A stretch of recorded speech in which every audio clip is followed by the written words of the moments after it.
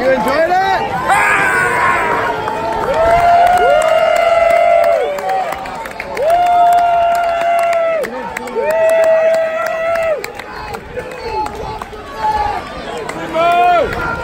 Let's keep it going, come on!